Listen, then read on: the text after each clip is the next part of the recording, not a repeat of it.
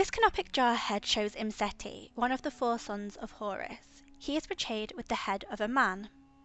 A canopic jar was a jar used by the ancient Egyptians during the mummification process to store the organs of the owner for the afterlife.